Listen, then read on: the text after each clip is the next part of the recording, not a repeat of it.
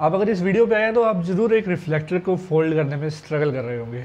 और ये वीडियो आपके लिए बनी है। बिना किसी फालतू बातचीत के मैं सीधा दिखाता हूँ कि कैसे फाइव इन रिफ्लेक्टर को बड़ी आसानी से फोल्ड किया जाए। तो सबसे पहले आपको रिफ्लेक्टर को अपने सामने होल्ड करना है और अपने हैंड्स की पोजिशन को कुछ इस तरह से रखना है। एक सामने की तरफ़ और एक आए हैंड आएगा पीछे की तरफ़। इस तरह से।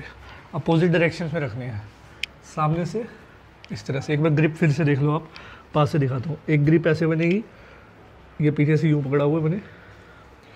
और एक ग्रिप सामने से ऐसे बनेगी। अब आपको अपने हैंड्स को अपोजिट तरफ़ रोटेट करना है। जैसे मान लो कभी आपने रूबिक्स क्यूब घुमाया तो उसको आप अपोजिट डायरेक्शन में घुमाते हो जिस तरह से। ठीक उसी तरह से ही इसको आपने घुमाना है। अब घुमाते घुमाते क्या होगा धीरे धीरे ये कोलैप्स होता रहेगा। देखो, मैंने इसको अच्छे से होल्ड करके रखा हुआ इसको रिलीज़ नहीं करना है, वरना ये उछल जाएगा। हैंड की ग्रिप जो है ना, सबसे ज़्यादा ज़रूरी है। इसको धीरे धीरे घुमाना है और ये अपने आप में पास आता रहेगा और बिल्कुल ऐसे चेस्ट के पास लाके इसको कर देना है फोल्ड एक बार फिर से देखेंगे। एक और इजी ट्रिक बताता हूँ। फिर से सेम पोजीशन रखनी है ग्रिप की।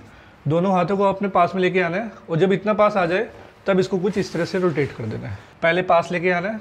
जैसे ही पास आ गया, अब इस पोजीशन पर आके अपने हैंड्स को ऑपोजिट डायरेक्शन में रोटेट करो। ऐसे।